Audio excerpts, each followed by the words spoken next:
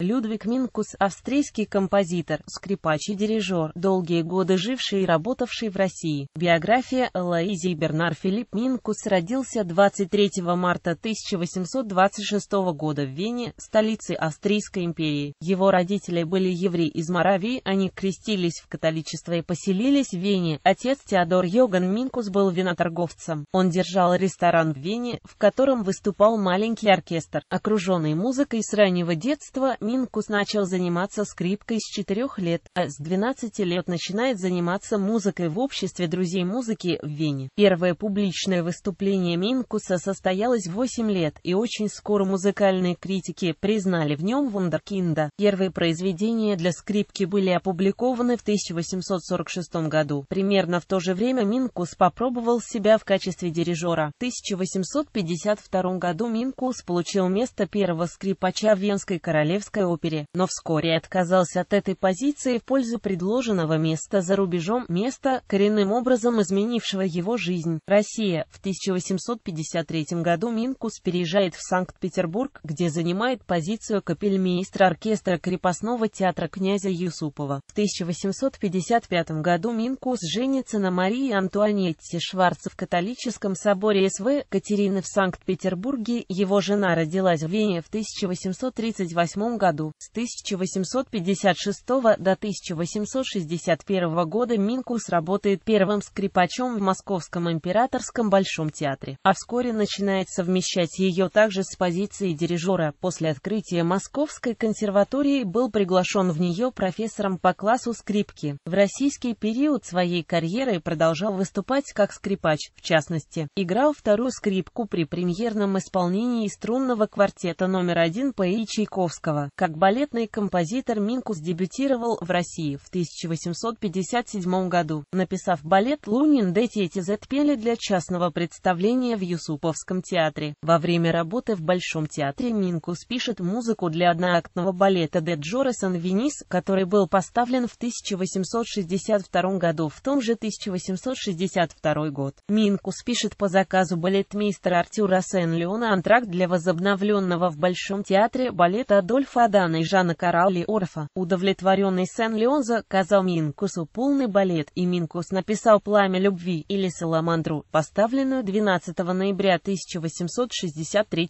года, специально для прославленной балерины Марфы Муравьевой в Московском Большом театре, затем 13 февраля 1864 года в Петербургском Большом театре и, наконец, 11 июля 1864 года в Париже под названием «Немея». Позже Премьера этого балета состоялась 15 марта 1868 года в Триесте под названием «Наш сито делала Фиамма Дамор». Разные названия этого балета очень часто вводят в заблуждение историков, которые порой считают все эти постановки разными произведениями. Затем для новой парижской постановки Сен-Леона Минкус написал балет «Ручей». Балет был поставлен 12 ноября 1866 года, наконец, в 1869 году. Минкус написал для другого хореографа, Мариуса Петтипа, балет «Дон Кихот» по Сервантесу, и эта работа оказалась исключительно успешна. Через год Минкус получил место первого композитора балетной музыки при дирекции императорских театров. В соавторстве с Петтипа Минкус создал 16 балетов, из которых наибольшую известность получила Бейдерка. В 1890 году Минкус вернулся в Австрию, где и прожил оставшиеся годы жизни основные сочинения. «Дон Кихот», «Золотая Золотая рыбка, Фиаметта, Байдерка, Волшебные пилюли, Камарга, Калькабрина, Фетида Пелей. Наиболее известные вставные номера в балетах других композиторов, вариация Жизели в балете А. Адана, Жизель, детский полонез и мазурка, гранд-пас и фрагменты пас де Тройс в балете Эдильдиве Пахита, музыка Л. Ф. Минкуса также была использована в балете Корсар, вариация Мидоры в сцене Оживленный сад. Минкус хорошо чувствовал специфику балетного театра, обладал высоким профессионализмом. Его балеты, наполненные жизнерадостной, мелодичной, ритмичной музыкой, до сих пор входят в репертуар ведущих театров России и мира.